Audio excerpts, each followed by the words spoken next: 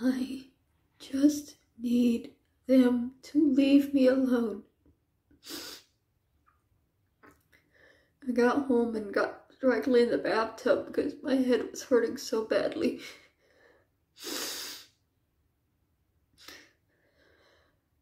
I am not a bad person.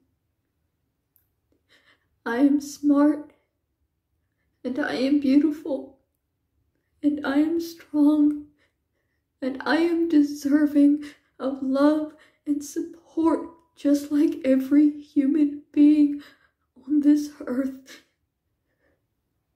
And I have spent 36 years being told that I am not worthy of those things by my own family. I own four shirts and I'm ashamed to buy another one because people tear me down so much and make me ashamed of owning anything.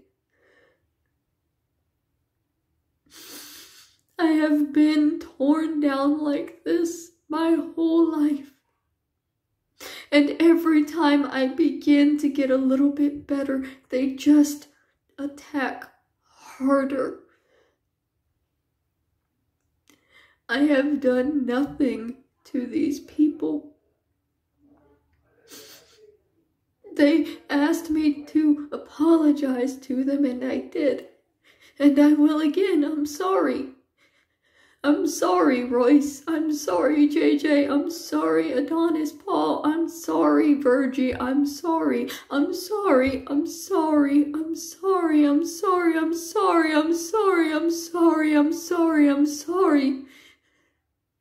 I can say it a million times and they still won't allow me to be a human being.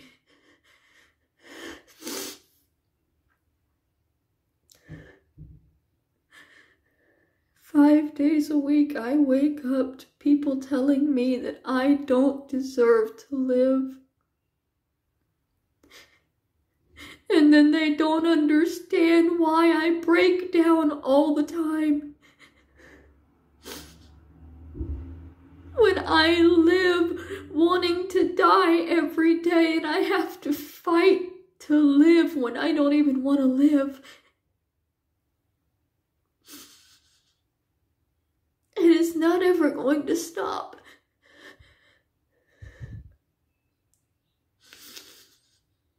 It is not because I'm addicted to marijuana. That's not what the breakdown is. I broke down because I am waking up day after day after day to emotional abuse. And I have begged for it to stop. I have pleaded. I've upped my medication. I have done everything humanly possible. They will see me as a human being. They will never acknowledge that my pain is real. And I am desperate for somebody to hear me. Because they are destroying my soul. And I have done nothing to deserve it.